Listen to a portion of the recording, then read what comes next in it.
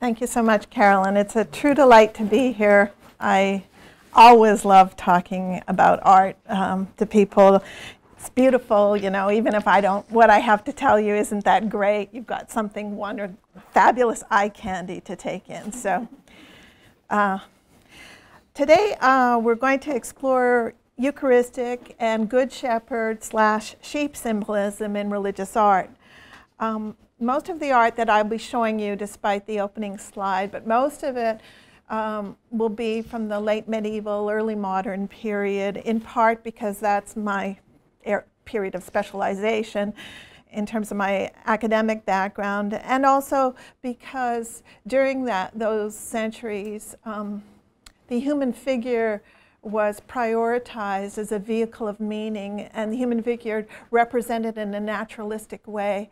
And so it present, that presents special challenges when it comes to um, pointing to Eucharistic meaning, but also uh, great opportunities, great potential for saying something that's truly profound about in terms of theological meaning. I'm going to try to draw out the theological meanings in these pictures and we'll strive to show how they both teach and stimulate the viewer's love and devotion, that they work in, on both levels, on the intellectual and on the affective level. And that's why I personally think that uh, religious art can be a great catechetical tool as well as um, a focus for devotion and, of course, for appropriate um, decoration of ecclesiastical spaces. Now, as all of you know, texts are usually privileged in catechesis, but from relatively early on, there was a perception among Christians that pictures could be valuable too in teaching the faith. And in fact, there was a, a lot of debate in the earliest centuries of, the church about the appropriateness of religious imagery. There were uh, some reluctance to turn to religious imagery initially, in part because of the Mosaic prohibition against uh, the use of idols. And in the uh, world of pagan antiquity, uh, idols were large figured, figured statues in temples, and so they were very imposing, and you know people thought they embodied the god, and there were uh, grave concerns about uh, encouraging that kind of devotion, which would have been inappropriate. But um, early on, uh, the very fact that God becomes incarnate in the person of Jesus of Nazareth gave warrant to the idea that indeed you could depict God become human and his human life, as um, written about in Scripture, through images, through the use of artistic images. And Gregory the Great, in uh, the Pope in around 600, in fact, wrote a very explicit defense of the use of religious images. And I'll just outline the three the three justifications that he provided because they're important and they're ones that still are, are used. That they could effectively teach people who could not read, that they would be a good substitute for text because, of course, in, in those eras, in the pre-modern eras, the vast majority of the population was illiterate. Uh, that they provided good memory aids, that it's easy to remember a picture rather than words, especially maybe a boring homily.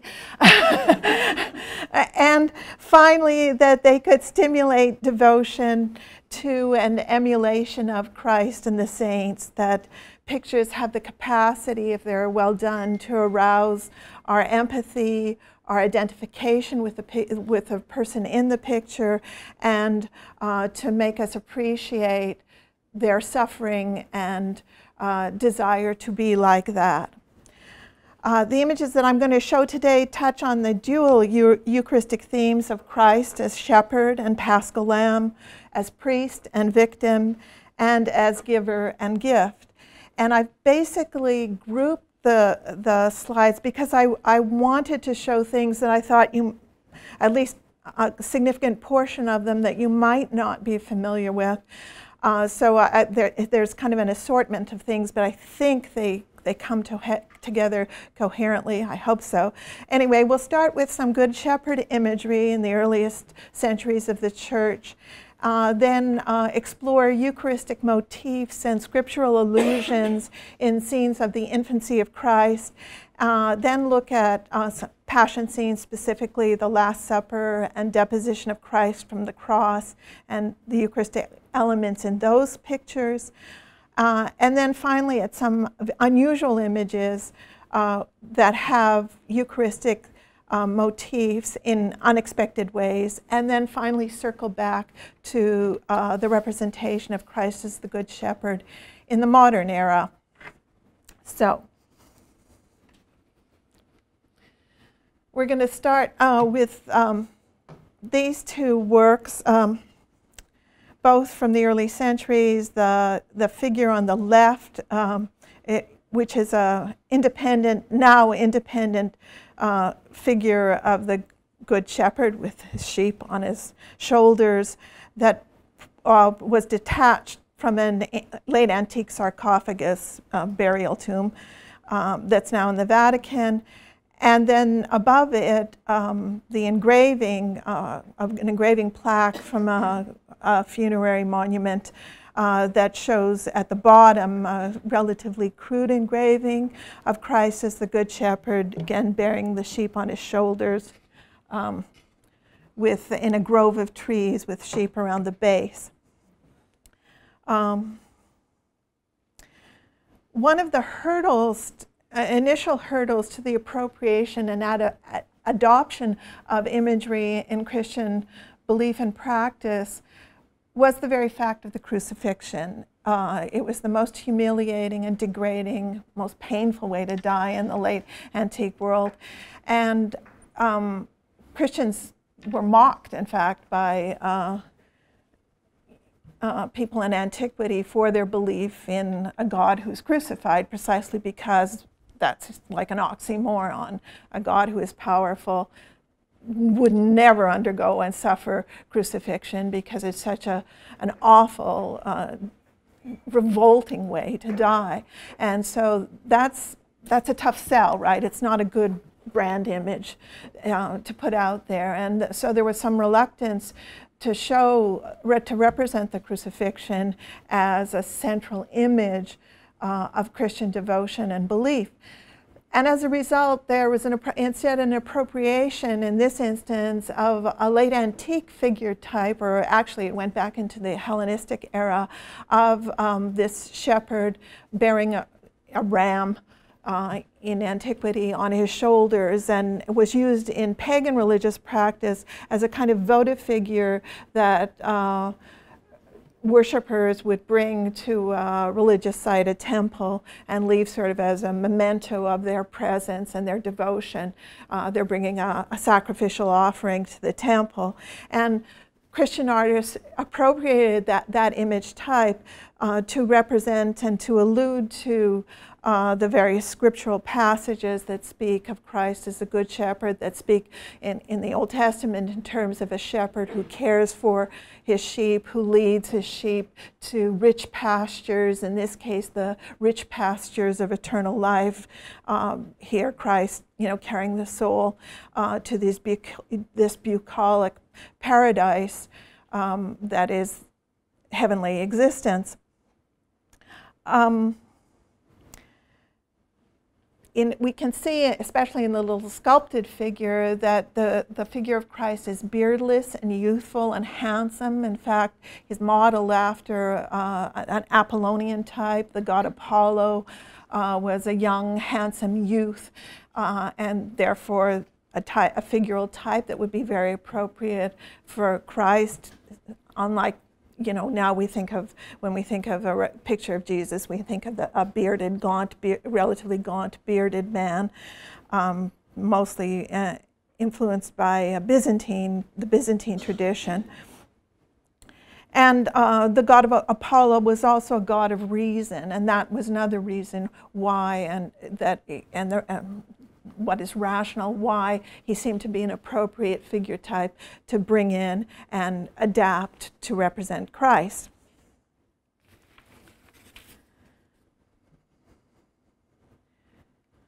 Here's another famous mosaic, now slightly later, in what is called the Mausoleum of Galla Placidia, so a funeral chapel, although we're not certain that, in fact, it, it served that function or not. It's uh, attached to a church in Ravenna, in northern Italy.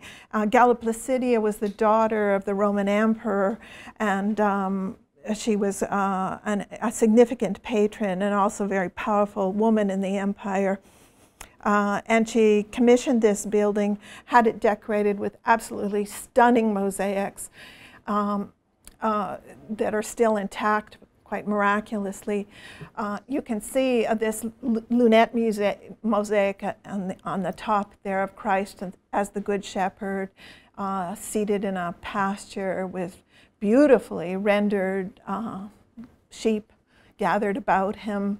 Um, you know, you think of that passage from Isaiah, he shall feed his flock like a shepherd and gather the uh, lambs in his arm. All that, all that kind of scriptural imagery feeds into this amazing mosaic. But we see in this case, again, the figure of Christ is given the, that Apollonian kind of uh, visage and is also dressed in imperial robes, the gold and purple of the imperial house. And in this case, he wields his staff, which is surmounted by a cross. So, in fact, he leads uh, through his crucifixion. Uh, that is how he, he, he tends to his sheep.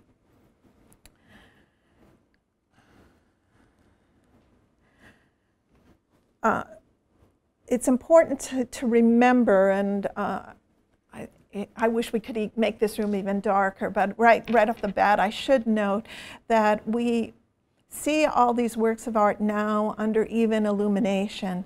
And that is very deceptive because until the later 19th century, works of art, pictures were experienced through flickering lamps or candlelight. And that entirely changes how you see them and how transporting they are because we know that uh, electric light gives you a steady, even illumination, and whereas a flickering candlelight makes you aware of the sort of ambient atmosphere, and especially in the case of a mosaic, which is uh, composed of small little glass tiles which have a highly reflective surface, and in this case, a lot of gold leaf behind at the back of the glass, creating the color of Christ's robe and the various um, little gold elements around it, that the, each tile is set in at a slightly, just a slightly different angle so that when illuminated by flickering lamplight, the light bounces off all these separate tiles and creates a truly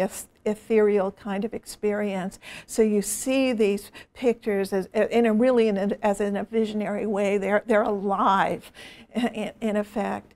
And we also see, and I included that uh, um, view of the ceiling and various architectural elements here within this uh, funeral chapel because uh, to indicate how rich uh, the decoration is and also that it's got a lot of floral motifs, vegetal motifs, uh, the acanthus leaves, grapevines, obvious Eucharistic symbolism going on there, um, stars. So that's the whole cosmos in effect. The artist is creating the illusion that um, the whole cosmos is contained in this space. And when you would exit the funeral chapel, this would be the, the last image you would see. So it's a very um, seductive and beautiful visual memory to have and to carry with you in terms of looking forward to one's death and the, the, uh, what, what comes after. Yes? Of the society, who would be experiencing this? Is this something that would be restricted to the wealthy to come into this chapel? Yeah, this this is the imperial family probably, and yeah, yeah, yeah. That you know, it, there's all religious art of this period, it, it, the art, it's expensive, right? You know, the uh, art of this kind, you, you have to pay a lot for high quality artisans to do this, right? And the materials are very expensive. Um, and it's used as a way to consolidate and proclaim power in terms of imperial or aristocratic patrons. And at the same time, it's also the fact that you are taking material wealth and putting it in something that doesn't earn money. You know, you're not you're not putting in the stock market, but you're setting it aside, and for something that has no functional value in this life, it's at the same time a, a sign of devotion. Yeah. Any? What is the black, um, like material that's going across the Good Shepherd's? Oh, the imperial pallium, the the purple stole. Okay. Oh, so it's starting over his shoulder. Yeah, it starts over his shoulder and goes out, uh, extends over his thing. Um, so uh, we've s- seen something of, of the late antique world, and now we're jumping ahead many centuries to the mid 15th century, the you know sort of center of the Italian Renaissance uh, with this um, center panel from an altarpiece painted by Domenico Ghirlandaio. This was right after he'd painted some of those uh, frescoes in the Sistine Chapel in Rome, and he came back to Florence and took this commission. And speaking of wealthy, the family that commissioned this. Um, what the man was the manager of the Medici Bank in Florence. So there was lots of money, which is interesting to me because um, didn't choose an adoration of the Magi, although that part of the episode is uh, of the early life of Christ is apparent, is developing there in the upper uh, left uh, road coming down the Magi are advancing down the hill, but instead chose the adoration of the shepherds as uh, the uh, sort of one, part of the principal subject. The principal subject, of course, is the Madonna and Child, and um, he, here he shows the infant Christ, an adorable chubby baby there uh, with his fingers uh, stuck in his mouth like a baby does, um, uh, lying naked on the ground. This is middle of winter. Everybody else, is, even the shepherds, are reasonably well dressed. Um, that's significant. You probably all know that, very familiar from Christmas cards, and may, may or may not have ever reflected on why that is the case. Why do we show a nearly naked child uh, lying, in, not in this case, he's before the manger, which is meaningfully a classical sarcophagus uh, here. So this is um, the child who will triumph over pagan Rome, pagan imperial Rome. That's what all that um, sort of the ruins of antiquity apparent there in those columns that hold up the roof of the stable in that empty sarcophagus. The, the grandeur that was Rome, in fact, is supplanted by the new kingdom ushered in by the birth of this divine child. And so then, then the nudity of the infant Christ is one way to make very clear the reality of the incarnation, that God has become truly human in this adorable, naked, fully male child. Uh, you, you, can notice how the child opens up his legs. That's another feature, uh, dis, displaying his genitals. This is truly a human baby. And uh, you can see too that the, I mean, one of the challenges with infancy scenes is the most important figure in the scene is the smallest, a baby.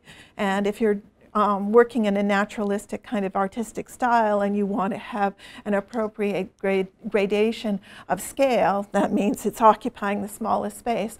Well, a way to cope with that, artists do, and, and wanting to preserve the, the luminous uh, pale flesh of this beautiful baby, is to contrast that with very rich, deep color around uh, the child so that there, you have that high contrast of light and dark and then draws your eyes immediately to that passage of light, luminous flesh of the child. Well, the luminosity, obviously, the association of light with the divine. And typically, too, the child's pale white flesh is matched by the Blessed Virgin Mary's pale white skin. You notice here in this painting that the shepherds have ruddy complexions. They've been out in the fields, they're sunburned. Uh, but uh, the Blessed Virgin Mary and her child have, the, have, these have this beautiful white, luminous skin. Uh, and also her gorgeous blue mantle uh, that gives a real solidity and strength and falls into that kind of cone-like pyramidal shape that gives a real um, solidity to her figure and occupies a lot of space within the picture. Her mantle extends under the child and goes over a sheaf of grain that he rests against. So we obviously the grain has a Eucharistic reference. Literally, the, the pale white flesh and uh, silhouetting it against these kind of dark elements is meant to remind us that the person whom we encounter and consume in the Eucharist is the same baby here. You know, so using that whiteness of flesh is, and whiteness of the, of the host, which is also a very small visual element in our experience of the Mass, constantly drawing together those two things so that we get the connection. She adores the child. Um, the shepherds coming in at the from the right, you can see how they're arranged so that our eye travels down that grouping of shepherds through the pointing hand of the one uh, near the foreground. That's extended through that garland, that again using a flourishing vine idea to connote this kind of um, fruitfulness of this moment. It's also a clever uh, device by the painter. Ghirlandaio means garland in Italian, so he's proclaiming his work as the creator of this picture. And uh, St. Joseph behind, looking up in the sky, uh, he's wearing, uh, has a, he has a mantle that is that passage of sort of orangey yellow. Uh, St. Joseph often wears that, that color.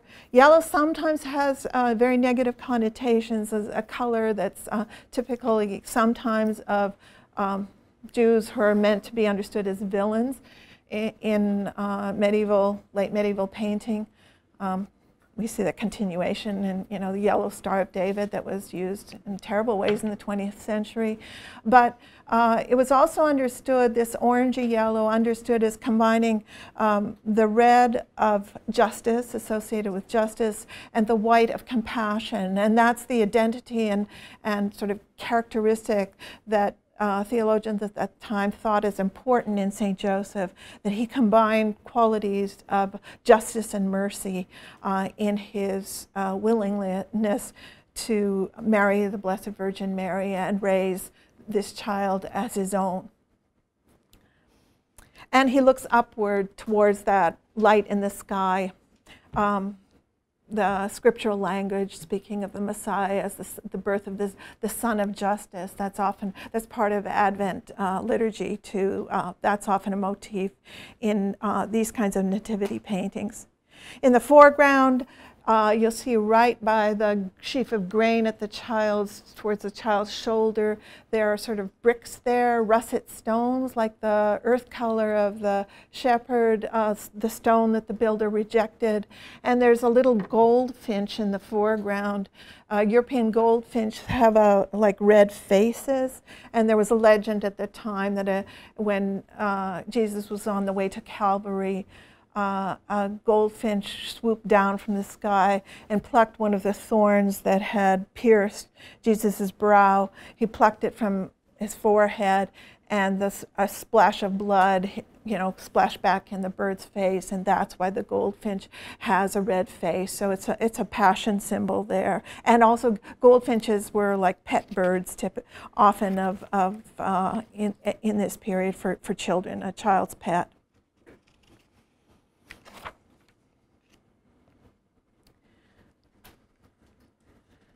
Uh, similar kinds of uh, imagery um, is apparent in this similar scene of the nativity slash adoration of the shepherds on the left um, of the 17th century.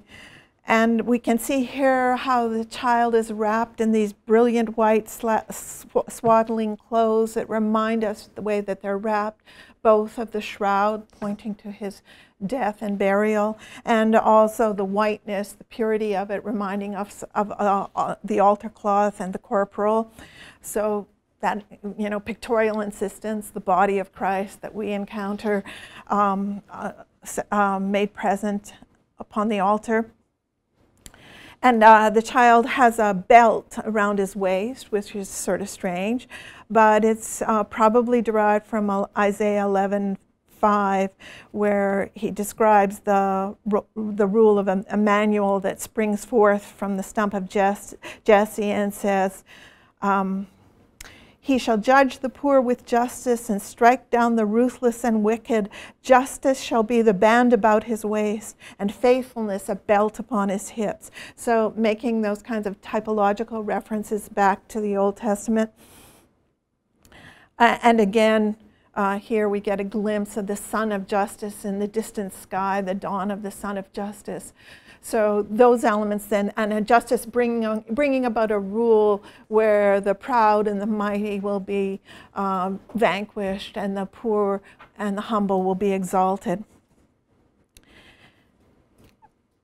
Um, we can also see here uh, how there's a sort of a woolen cloth behind the child and it, the to tonality, the sort of working with beiges here and drawing together elements, meaningful elements in beiges.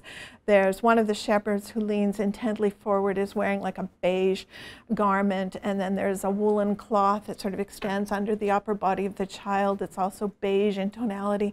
Most importantly, the trussed sheep in the foreground has that beige quality. And then the column behind that it rises up behind the Virgin Mary is also beige in tonality. Well, obviously the, the truss lamb that has come with the, the shepherds have brought and the sheaf of grain uh, before him are, you know, tokens of sacrifice, the sacrificial lamb here um, realized in Christ's sacrifice on the cross and in the Eucharist.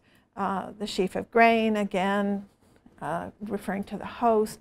Uh, there's breads in the basket in the very right foreground there, right in the corner.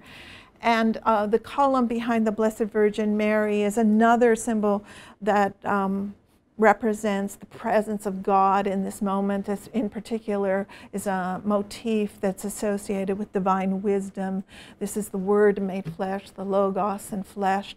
Uh, and it comes both because uh, the Temple of Solomon and, and the Book of Kings is, is, described with this portico that has columns. Uh, also refers to God's uh, presence uh, in the pillar of cloud and a fire uh, leading the um, Israelites out of the desert uh, into the promised land. Um, so all those things are, are th those elements, those scriptural references are also very cleverly integrated into this picture that reads as otherwise completely natural. So there's a, there's a great depth of theological and scriptural learning that's uh, implicit in this picture.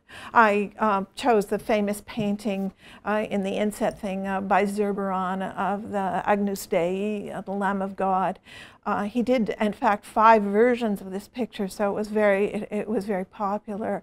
Uh, it had immediate popularity, and he quite masterfully captures. I mean, you would kind of think like, okay, a tied up animal is going to look sort of you know, weird, right? It's not going to be much of a devotional subject, but he quite masterfully captures the, this, you know, uh, humanizes the, the, the sheep by giving you this sense of uh, complete submission, this willing submission of the animal. It's not, it, it's not risible, it's, but it's, you know, arouses our empathy. And the, in this case, the truss legs, the way that they form the, a cross is, is obviously meaningful.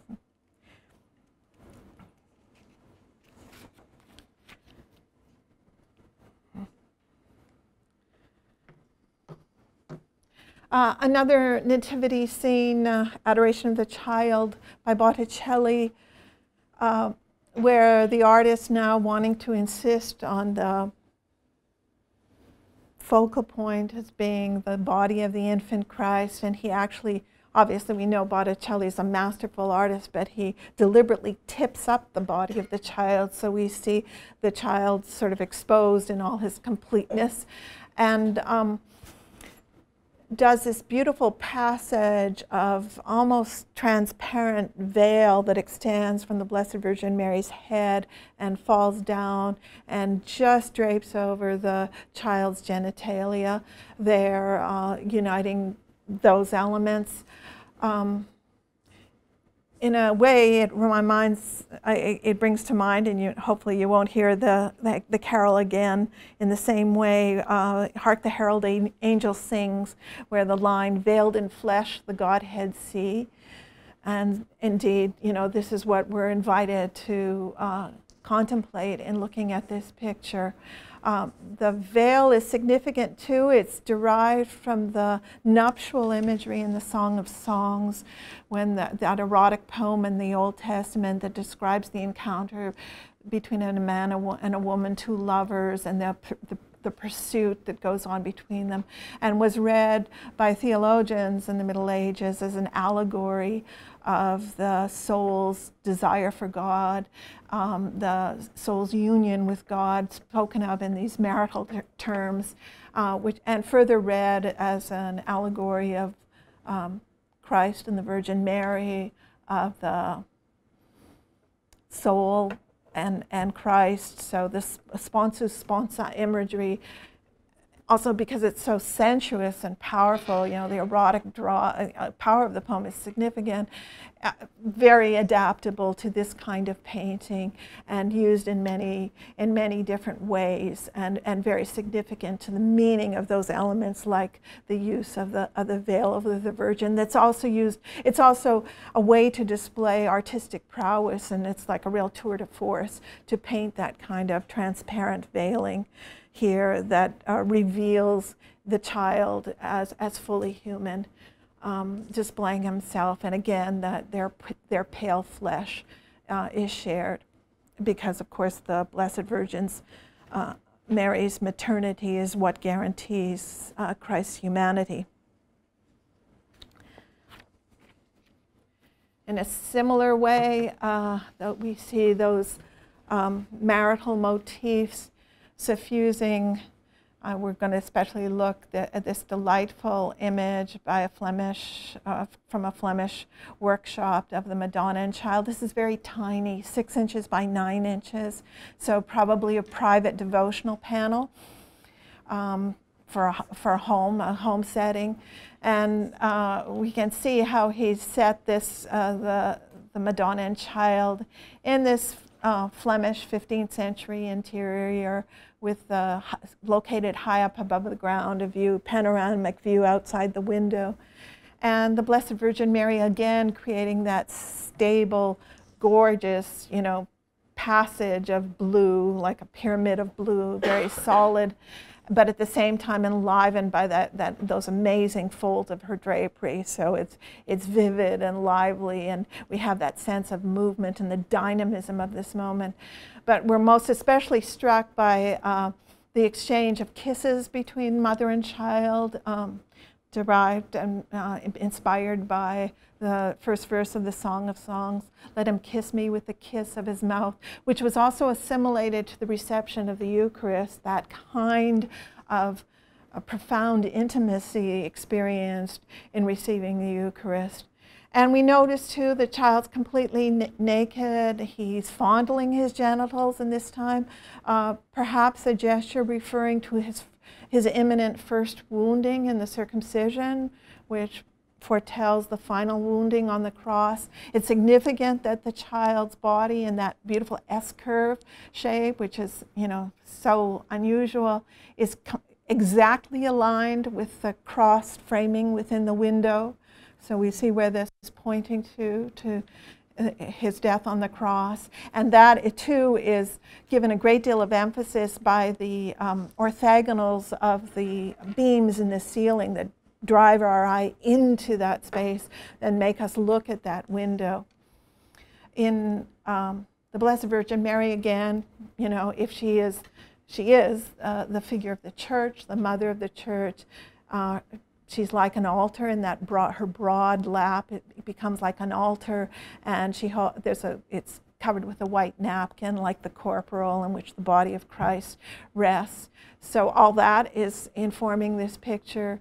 Um, there's the basin of warm water warming by the fire there. Um, again, uh, God uh, condescending to our humanity and uh, being born as a normal infant and undergoing um, the washing after his uh, after his birth, even though he's perfectly pure and uh, no necessity for that. And a, a, basket of what seems to be diapers in the foreground. Again, another way in which God's merciful love condescends to our human condition and, and truly becomes human. In the background there, you see the uh, uh, fire blazing in the hearth, that large hearth, a reference to the um, burnt offerings, the Holocaust sacrifice, again realized on the cross, and a candle on the mantelpiece, Christ as, as the light of the world. So even in this tiny devotional panel, that is, because of its scale, is so accessible and is something we immediately are attracted to and you know relate to and and you know feel like ah oh, that's beautiful it's adorable. Uh, you know it's there's all kinds of sophisticated theological meaning embedded in the picture.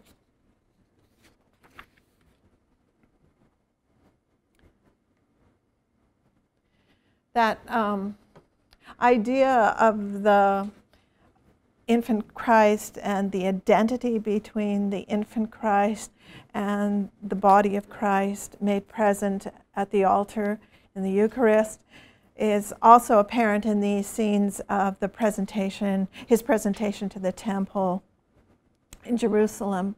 Uh, here, um, and oh, another thing I want to note too, because I see in the, the Ambrogio Lorenzetti painting reminds me of it because it's so colorful and he, he's such a master of this, this brilliant, uh, intense uh, pigments, is that there's no magazine, no, tele, no color television, no photographs in this period, right? So, and, and all clothing is made by hand and requires, you know, shearing the wool, dye, you know, washing it, dye, spinning it, dyeing it, all that stuff. So in other words, it's a, it's a drab world in the terms of those kinds of material things that, you know, look at us, we're all in, you know, many of us are in brightly colored clothing and don't think a thing about it. But the colorfulness of, of these paintings is deliberate and is something that would, be, would have been truly special to the viewer at the, in the, at the time where they were made. So, you know, they, they would have, I mean, it would kind of be like, you know, going to Disneyland might be now or something like that. You know, a truly special experience that would be exciting and, and so visually satisfying. Whereas we have access to so much constant imagery, we must see thousands of pictures a day in our daily lives. We, we don't think anything of it. Well, you know, th that's, that's a very profound difference that would have charged these pictures with a great deal of power and meaning that we find hard to access, you know, try as, as much as we might. So you noticed in Ambrogio Lorenzetti's panel that the Simeon holding the Christ child has veiled hands like the humeral veil that veils the priest's hands when he's transporting the monstrance. Um, so again, that, you know, the body of Christ that he holds with his veiled hands, same body uh, that's uh, displayed in the monstrance. And similarly, the Blessed Virgin Mary is about ready to receive the child back uh, in, in with her hands uh, covered in, in this white, um, white uh, with gold border cloth. So, um, and also the, the, this grouping and the way it's done in the, in the Ambrogio Lorenzetti painting if you were looking at that and hearing the entrance antiphon for the Feast of the Presentation, it would have an image like this would have given that antiphon sort of new meaning. So the, the antiphon says, Your merciful love, O God, we have received in the midst of your temple. Your praise, O God, like your name, reaches the end of the earth. Your right hand is filled with saving justice. So receiving God's merciful love, that's what's happening in the temple here, uh, in, the, in, in the reception of the infant Christ.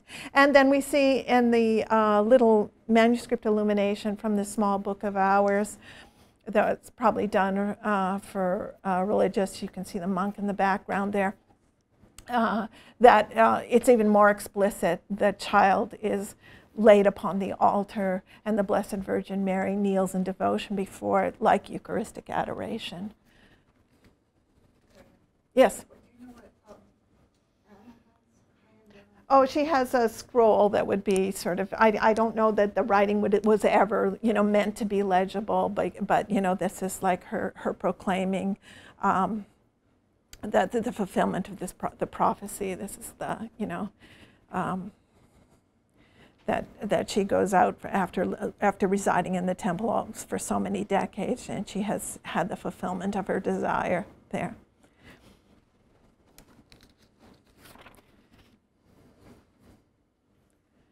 So we can look at these other absolutely charming paintings. The Gerard David one is also, uh, also a small little panel in the National Gallery in Washington.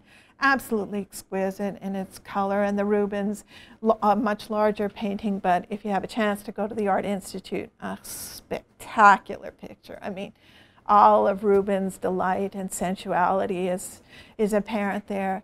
Well, the Gerard David shows us the, the rest on the flight into Egypt, and now you're familiar, the broad blue lap of the Blessed Virgin Mary, the way that her mantle is spread out, the fact that she sits on this flat stone sort of plateau like an altar, also referring to the, you know, the rocky hill of Calvary, and the Christ child in that beautiful little child's gesture of daintily taking the grapes from the bunch of grapes, obviously a Eucharistic symbol. And likewise, he's veiled in this filmy veil, you know, veiled in flesh, the Godhead see.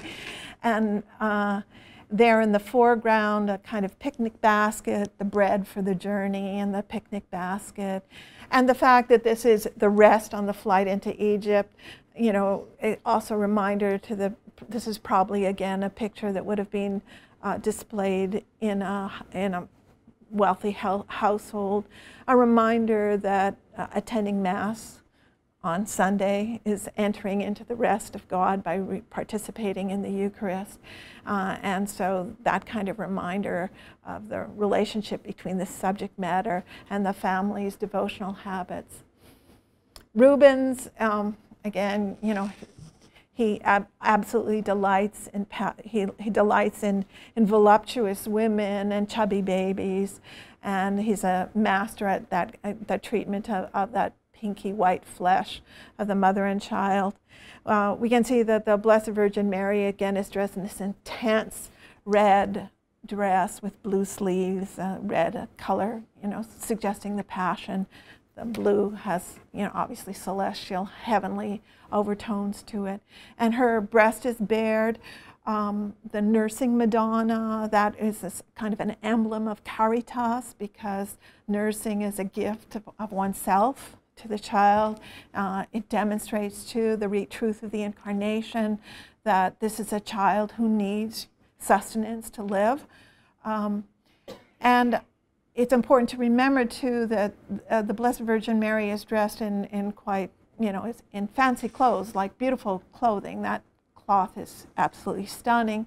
Um, crimson dye was the most of that kind was the most expensive to procure in Europe. So, you know, no, nobility wore it, and it wasn't it wasn't no, normal at all for aristocratic women to breastfeed their children. That infants under the age of two were sent out to wet nurses uh, because you know it, it, it, was not the thing for aristocratic women to do, and so this is quite unusual, right? The, the, the viewer at this time would have recognized this gift of self in breastfeeding as being highly significant. And also, in the period, they there was a belief that um, breast milk was made from cooked blood, you know, blood that had been warmed in the woman's pregnant body, and so therefore the connection between the breastfeeding and then the water and, blood that uh, spills streams from Christ's side at the moment of the institution of the Eucharist. It tied together those elements again. So the, this, you know, the, the Virgin here is a figure of caritas and a figure of the Church are both coming together. Yes.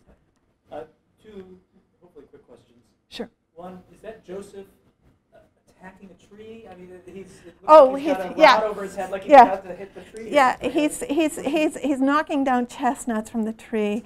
And it comes from uh, an apocryphal legend where the, the, um, the trees, the palm tree on the flight into Egypt, bent forward to, to drop their dates for the Holy Family sustenance. And it's a way, uh, there, a, a desire to show Joseph's significant role as the nurturer, uh, as the prov- provider for the Holy Family, that he's a pr- protector and, and real true provider of them.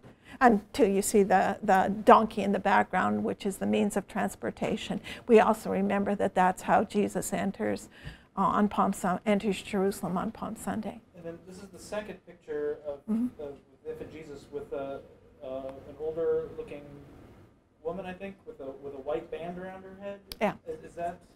St. Elizabeth here.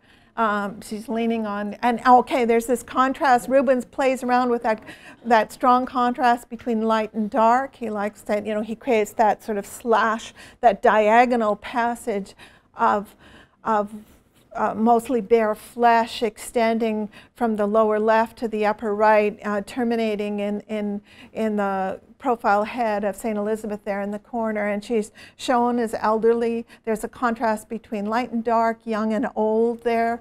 Um, okay, so she's a, a daughter from a priestly line. And this is, and she's gazing intently. This is what, you know, the Old Testament has been looking so intently for. This is the realization of all those prophecies in this child who caresses his mother's chin. That chin chuck, again, another motif, has uh, erotic connotations and derived from a sculpture group of antiquity of Cupid and Psyche. Uh, so that uh, appropriated, often seen uh, between the Christ child and the Virgin Mary that's doing the chin chuck. He is the bride. He's the bridegroom, and she the bride. Uh, so, and uh, Elizabeth also leaning forward, you know that in the visitation, you know, she's the first to recognize and articulate that Mary is the mother of God. Uh, You know, how should it be that the mother of my Lord is coming to me? So uh, that she plays an important role. And leaning against that Moses basket, um, the Christ child is an alter Moses, the fulfillment of the law. He is the new law. And then we see lovely John the Baptist eagerly, you know, uh, leaning into the child and, and gazing at the, the child and the relationship between the child and his mother. And the lamb, um, the, you know, that's pointing, uh, whose foreleg is on John, resting on John the Baptist, behind there that uh, St. Joseph sort of pets the, the lamb. You know, the, John the Baptist, as we know, is the one who proclaims, Behold the Lamb of God, uh, who takes away the sins of the world. And all that is telegraphed in this absolutely charming and beautiful scene.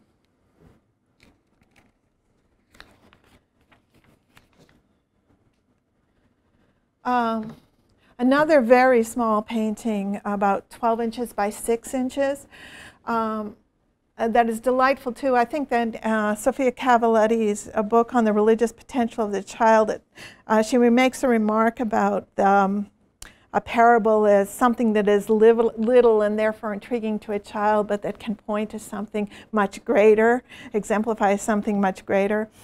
Uh, uh, and uh, in a sense, this is kind of like a visual um, realization of that kind of idea. Um, it's- a small little picture and therefore accessible. It's gorgeous and very appealing to look at. Um, and yet it has this um, Madonna and Child where the Virgin Mary is a giant, right? You know, like this is, she's in a Gothic cathedral, uh, you know, so she's the personification of the church. And she's like 50 feet tall, you know, if we assume this is typical of, of Gothic churches. And, and she's also wearing a jeweled crown that, that mimics the architectural finials of the, of the arches and things around her. So she is literally, you know, the personification of the church. And the Christ child there, right in the absolute center, the little tiny baby, he's tiny even compared to her. But again, that uh, use, a very effective use of contrast, her rich, beautiful celestial blue mantle, and against that, that brilliant white of the swaddling clothes slash corporal that wraps the infant Christ. And he tugs at her neckline as though desiring to breastfeed, again, showing his dependence on uh, nourishment, uh, human nourishment, a truly human baby. He's also, if you look at it, the, uh, if you look at the bottom of the drapery, the, the tail of the drapery that extends, the white drapery that extends from his body to his head, he's the same size as the central opening of the choir screen leading directly to the altar. His body literally is like a key that gives access to the altar.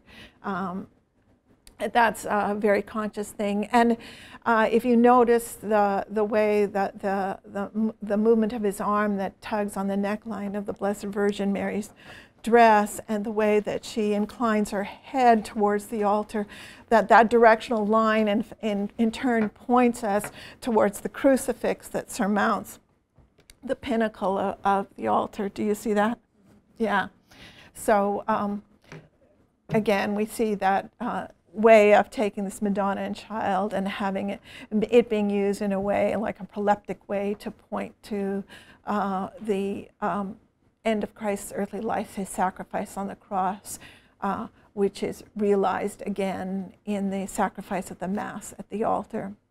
And this, uh, this beautiful light that enters through the cathedral, there aren't really stained glass windows there. That light penetrating glass like that, brilliant light, of course, light being a, a way of uh, talking about the divine uh, because it's immaterial and yet it, it light, you know, enables us to see. Without light, we can't see anything, so it enables us to see. And also light penetrating glass as being a metaphor for the, for the virgin birth because it doesn't break the glass. It just, uh, the, the beams just come through the glass without, uh, and leaving it intact.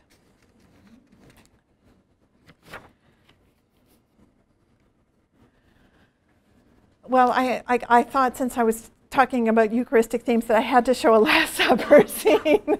and uh, this is the central panel of an altarpiece commissioned by a confraternity of the Blessed Sacrament in uh, Belgium in the 15th century.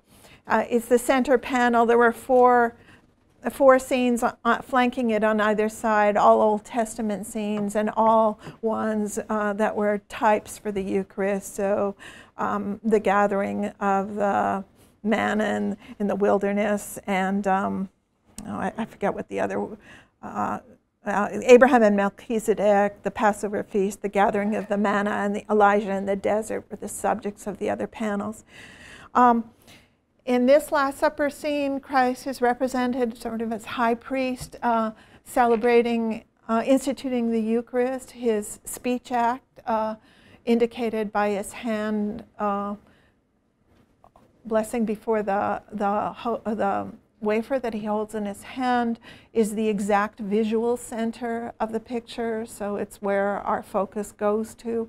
Uh, I spoke about the difficulty in the sense that the um, consecration of the host and its elevation in the actual rite is a visually small thing. Uh, taking place in a big space and, and how to deal with that in terms of making a picture.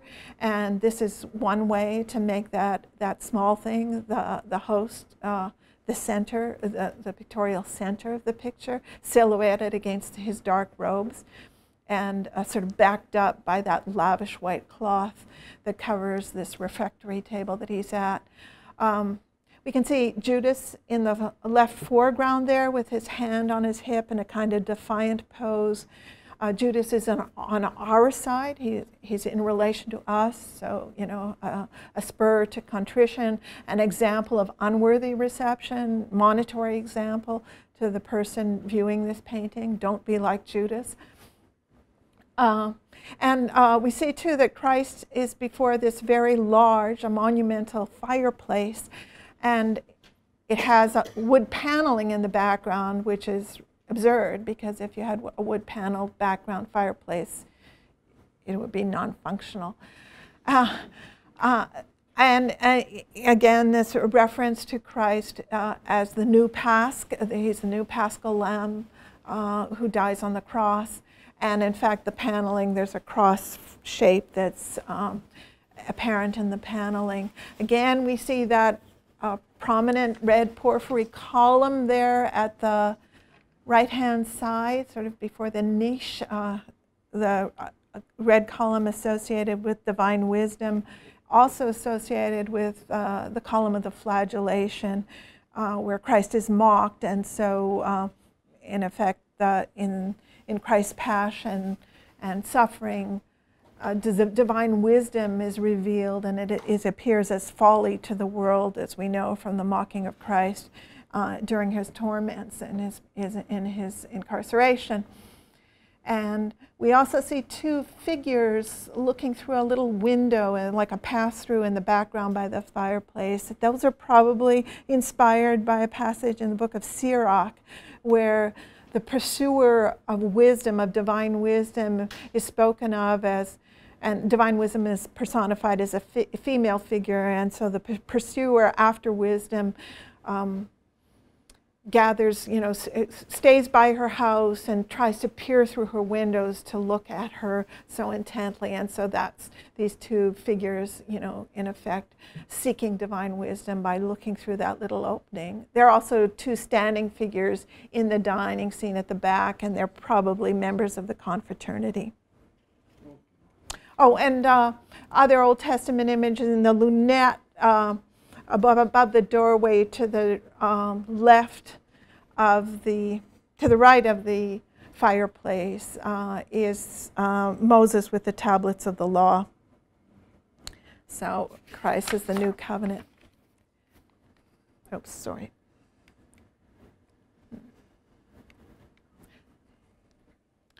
Um,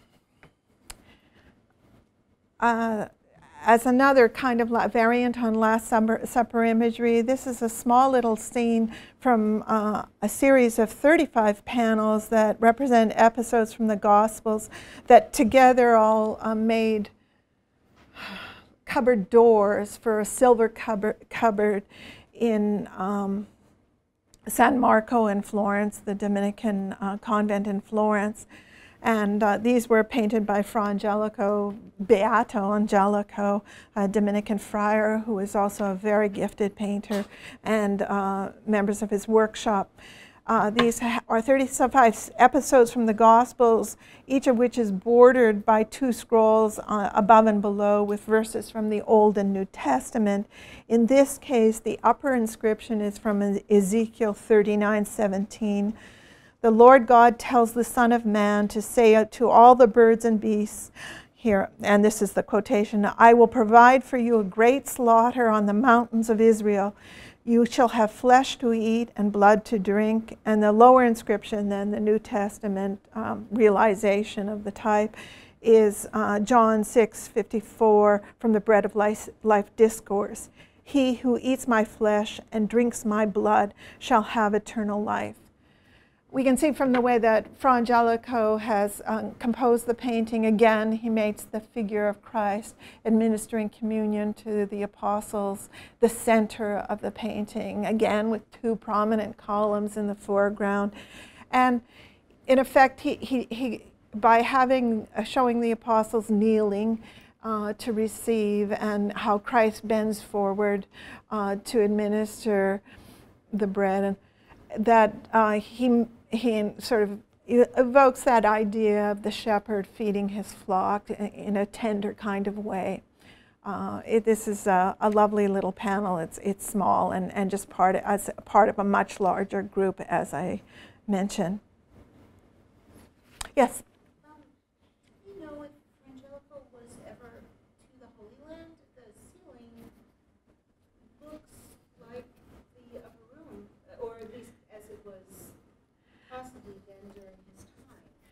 Yeah, uh, no, I don't think uh, there were. There had been, you know, there had been friars who who traveled there, and there were accounts of of of, of you know sites that they uh, pilgrimage sites. So it's possible. It, this is a kind of a vault that's typical of Florence in this period. The, the Ospedale, the Hospital of the Innocents in Florence has a famous portico that was designed by Brunelleschi that has this kind of uh, vault vault structure, so it would have been familiar. And also San Marco itself has vaults like this, so it would have, it would have been familiar to him uh, locally. He was uh, a professional painter who was an adult conversus to the Dominicans and uh, a very, I mean, one of the very best artists of the time in Florence and known to be so. I mean, a, an artist of extraordinary talent. Uh, and now, um, scene of the lowering of Christ's body from the cross, again with this uh, spousal imagery, the kiss of the mouth shared between the dead body of Christ, which seems to be alive in death, because uh, Christ seems to respond to the, the embrace of his mother, also the figure of the church she is.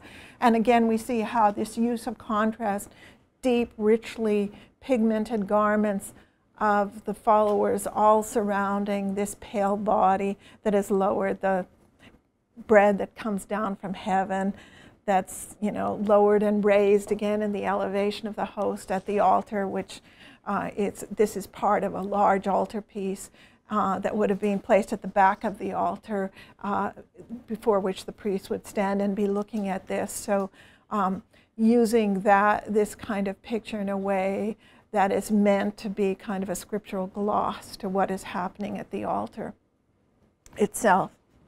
Who Yes. the male figures there? I mean, John is, of course, The John, the faithful follower, and the and the female followers, and uh, John, John also, you know, um, holding the, the hips, you know, uh, holding the body at the hips, and then above Joseph of Arimathea and Nicodemus, uh, the um, two followers. I, I, I personally think, that, and, and I think there's very good evidence of this, that for uh, late medieval laymen, Joseph of Arimathea and Nicodemus were very important scriptural models of service to the body of Christ that they, you know, sought to identify with. And in fact, in a slightly later period, we often see wealthy donors having themselves shown in the guise of Nicodemus or Joseph of Arimathea, because when you think about the story of the life of Christ, there's not there are not many figures in the story with whom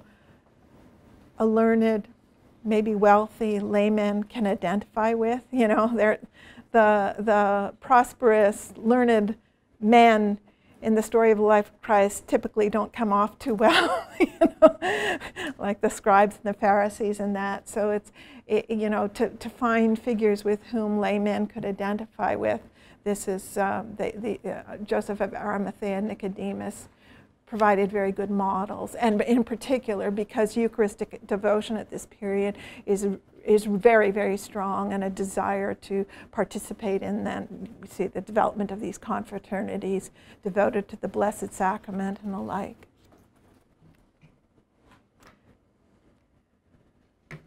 Uh, another pairing of images showing, uh, wanting to show you how the infancy scene and Christ at the end of his earthly life are, are, understood, you know, they're sort of bookends in a way and, and would relate to each other. Not that these two pictures would ever be seen, these two specific pictures seen in concert with one another, but that when you would look at a Madonna and Child scene like Giovanni Bellini's, you would understand that the way that the child rests between her mother's, his mother's legs, the fruit of her womb, uh, the way that he he, he's lying there with his hand across, drawn up across his, ch his chest, his nudity. This is, um, you know, a foretelling of his death.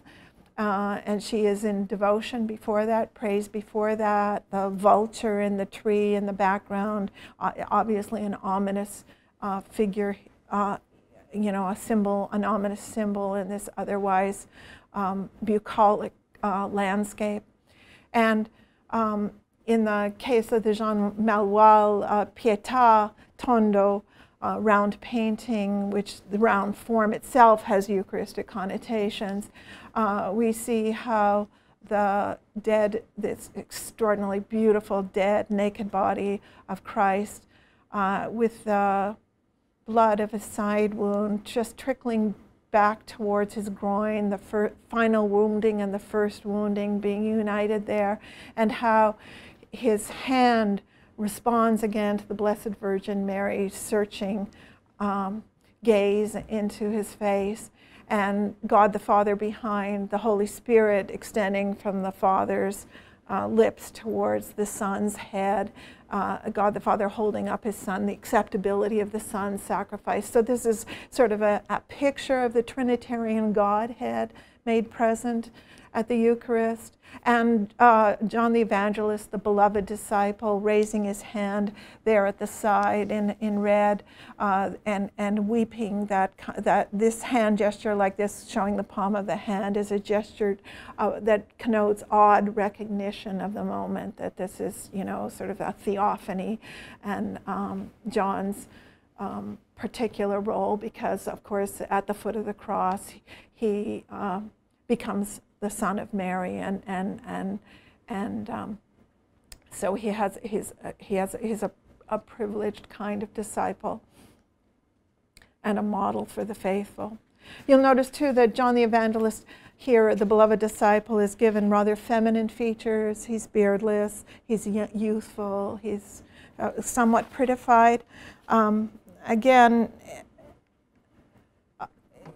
he is uh, seen as an, a model of sort of the Christian soul and in intimate union with Christ. Uh, on the left here, this figure group, uh, a small wooden sculpture group, probably made for a women's convent. This is a devotional group that was more common in women's communities of uh, St. John, resting his head on Christ's breast. It was extracted from the Last Supper scene, so I'm showing you a Last Supper scene there, uh, the fresco from uh, famous chapel in, in Padua in Italy by Giotto, that Last Supper scene in the lower right, and then I, I, show, I picked out the detail of uh, the beloved disciple resting on Christ's breast. Um, we know from the gospel account, you know, um, John 13, 23, one of his disciples, the one whom Jesus loved, was reclining at Jesus' side at the Last Supper.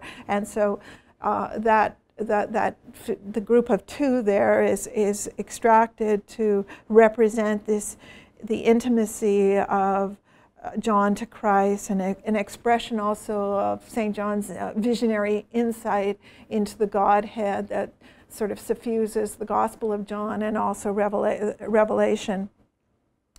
Uh, Sister Wendy Beckett said, uh, characterized this little sculpture pair in a, a, a really uh, appropriate way in her in a little commentary she wrote on it, and she said that pr prayer is resting your head on the heart of God, and that's sort of that's basically what what is you know shown here in this in this lovely little sculpture group.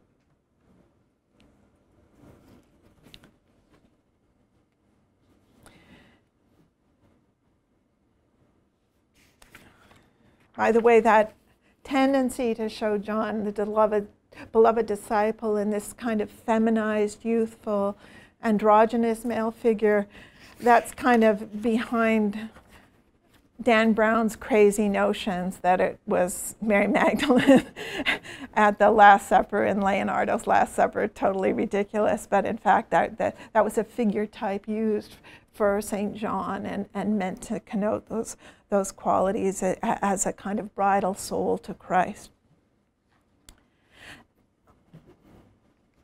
To.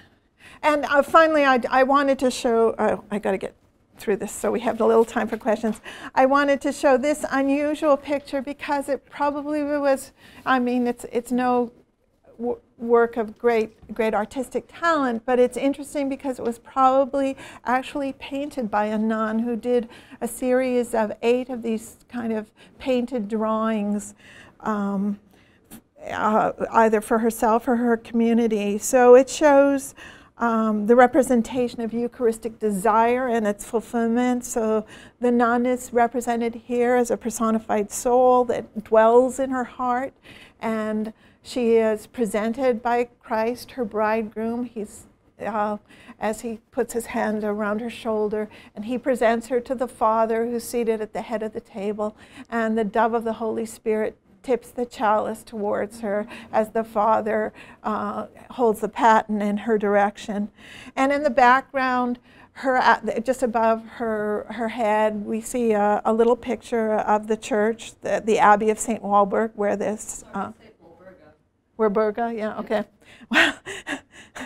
uh, where where uh, she lives, resides, and basically it's it's an image that shows the heart or the convent as the enclosed garden of the Song of Songs, where um, the soul is united with God, and the bride and bridegroom are joined together. And the scroll within the heart says um, my most beloved companion, eat and drink and become drunk in my love, which is paraphrasing parts from the Song of Songs. He brings me into the banquet hall, and his emblem over me is love. And another passage in the Song of Song eat, friends, drink, drink freely of love so, and it's also, there's, you know, references obviously in this kind of uh, picture to the wedding feast of, of, the Lamb. There's also a scroll uh, above the heart, extending above it at the very top there, uh, that says, uh, Here the ardent heart is nourished with the visitation of divine grace. So it's a very inventive picture and it's theologically informed and sophisticated, and that's something that scholars have only you know lately become alert to in the use of uh, in images made uh, for religious women how theologically sophisticated they are in fact. Yeah. Um, would they have been, would she have been able to receive from the cup do you think in the convent? Would that have been? I don't know. Uh, reception was was in we think infrequent and maybe all the more so because because of that, that, that nuns often would have even no visual access to the altar, that they would be enclosed in a choir and not, not even see the altar. So I don't know.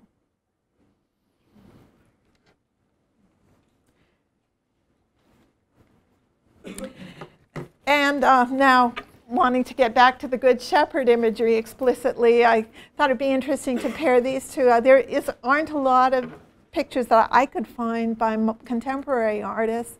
So I thought I would put together this uh, French Baroque painter, Philippe de Champaigne, who was a very humble background, but uh, was a gifted painter and had many royal patrons, including Marie de Medici.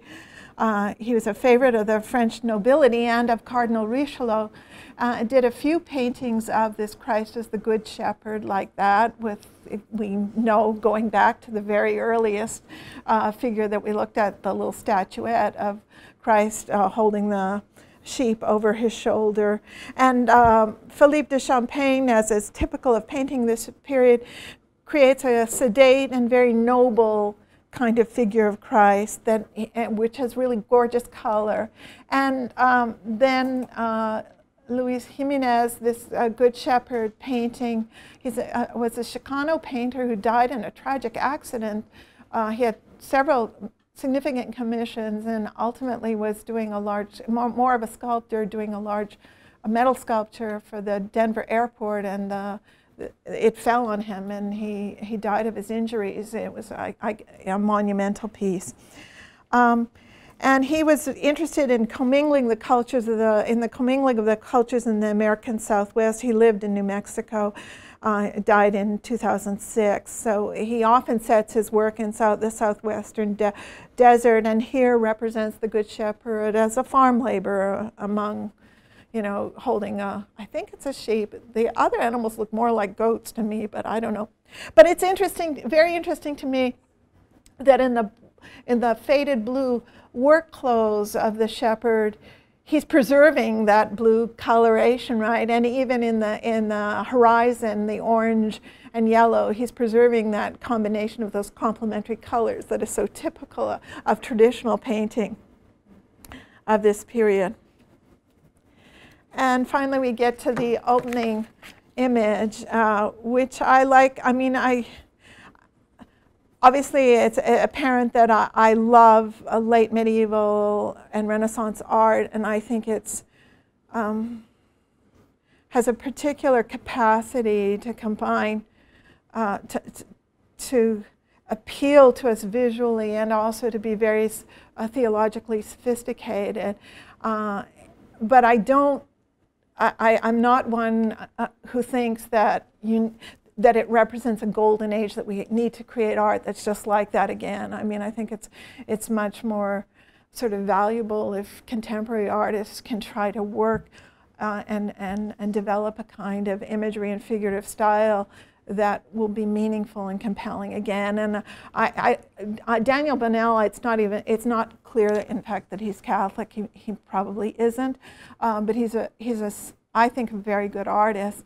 And uh, I think this image is, is, is quite compelling, uh, where the Good Shepherd now is like this figure of Christ on the cross, seen from behind, bending over as though bending over his sheep. And I think it's very meaningful the, the blue of Christ's body. I mean, it's like it, because we read that as a, as a void, as empty space, as pouring, the, pouring out this self-gift, being drained down, and, and how that blue of the body then becomes the, the lines that delineate the individual sheep.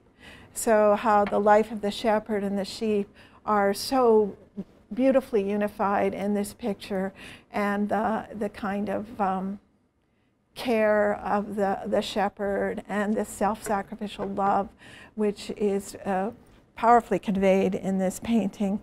So um, with that, I will end my part, and if you have any questions, I'd be happy to, to, to talk about it if you want me to go back to other slides, if you, if you have questions about particular images. But I hope you get a sense now about the, of the potential that these pictures provide for enriching people of all different ages, their uh, experience of the faith and their understanding of the faith and their love for it. So thanks so much. Yes.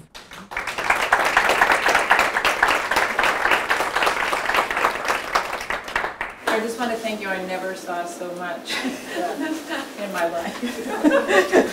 you really unfolded the wealth behind our uh, It's helpful. Thank you. You know, for me, um, I, what, I, I don't know, and I haven't, I've ha, I'm not, I'm not good enough at analyzing text, but I, I have found it, especially the homilies of Pope Benedict and, and things that he uh, were published when he was just Joseph Ratzinger, he seemed to have a real visual sensibility, and I often find I'm so often so struck by passages in his homilies that it's like have turned the light bulb on for me. It's like all of a sudden it's like, oh, that's what that painting must be about. You know, like I never.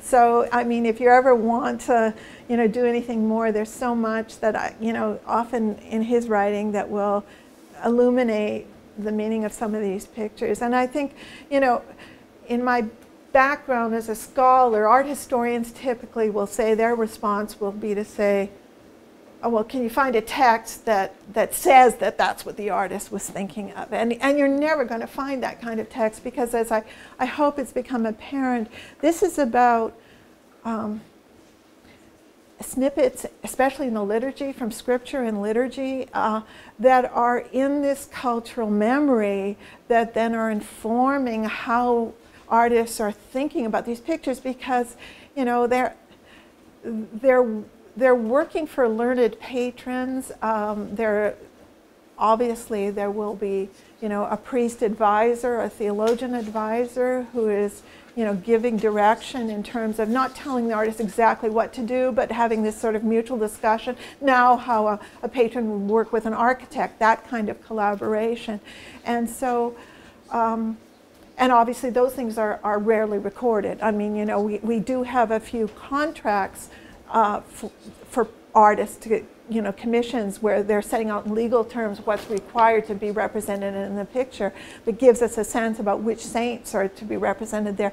But don't tell us much about how the composition is, never tell us about how the composition as a whole is to work. So I think it's like, you know that in my in the academic world where they always want to have textual proof you know, sh- you know show me proof show me a theologian who writes about art in this way show me a painter whoever knows this you're not going to find it because it's sort of it's something that's also artists are um, comprehending through orally through their experience. And artists by this period they would have um, uh, resources like the bible like uh, the Golden Legend, Lives of Saints at their at their disposal, breviaries and the like, and they would consult those kinds of things in making paintings. Yes.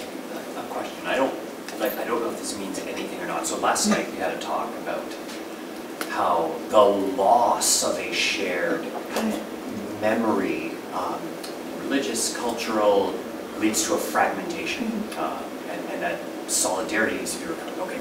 So, so just thinking about some of these paintings where, like, for example, the mosaic of Christ dressed in imperial robes, people would have just known, they would have seen it. Now, of course, like, I had no idea Yeah. until you tell me.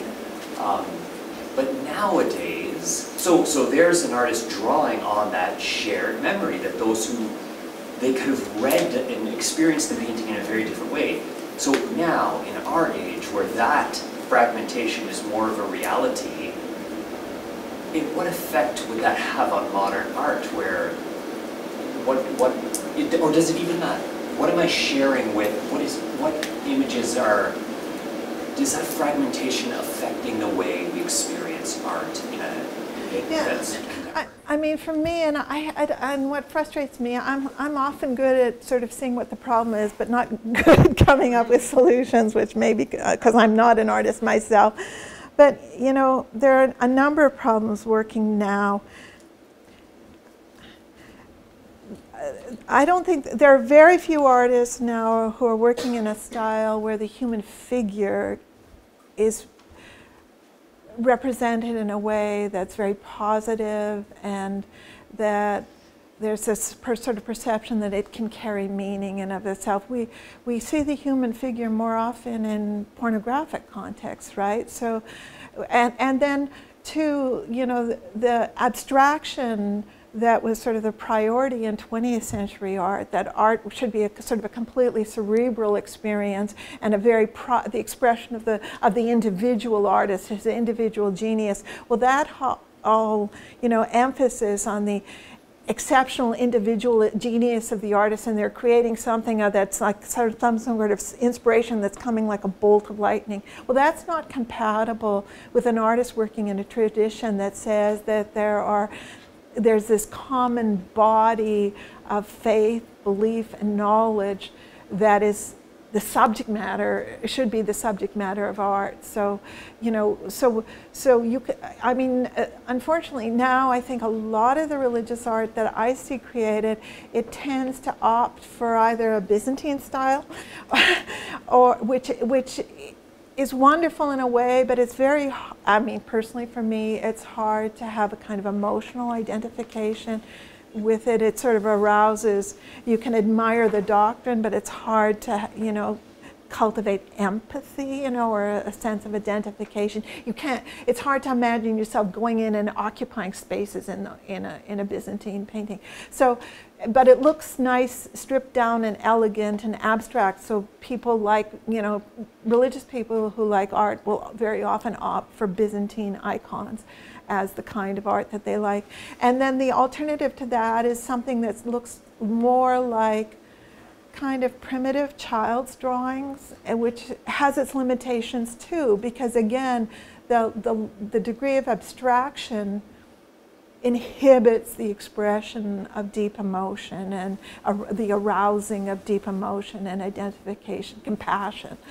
And so, you know, right at this moment in history, I think it's very, very hard. I mean, we there is a new movement of more traditional artists working in a more academic vein, but they tend not to appreciate the sensuality that is moving to people. And again, the sensual now, it's problematic in our world, right? Yeah. I, I know nothing about art, but I did work in the, in the Mexican community. And I would wonder if, because they would carry more of the story still, and they are very emotional, and their art is very sexual. Yeah. I would wonder if we wouldn't find more of that in Mexican or Latino art. Probably. You know, most people, when they see things like that, uh, Jimenez, um, Good Shepherd, they don't like it. You know, it's funny because people react, contemporary people, if you, if you make a religious painting where the figures are dressed like 20th, 21st century people, ordinary people, most people say, oh, not- that's not, that doesn't look religious to me, you know that.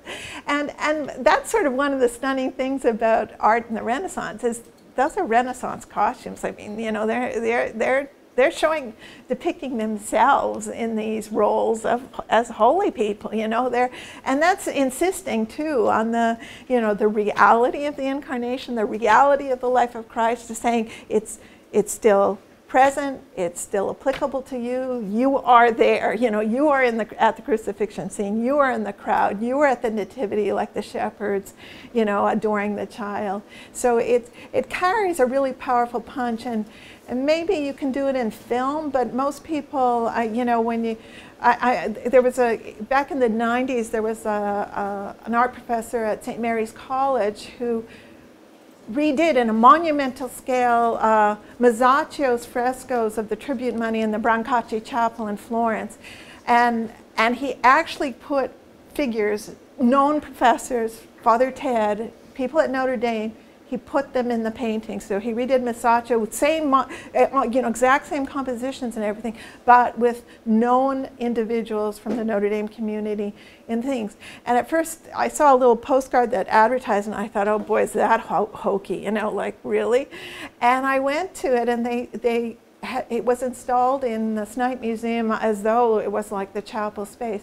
It was incredibly powerful. I mean, it really was. And I just like it, it was revelatory for me because I thought, like, wow, like now I got a sense of how 15th century Florentines would have responded to these paintings. It would be like your na- you know, this is real, and it's you know, it's this is sort of proof uh, of the relevance uh, of, of of Christ's life, and you know, and that you participate in it. So, one more.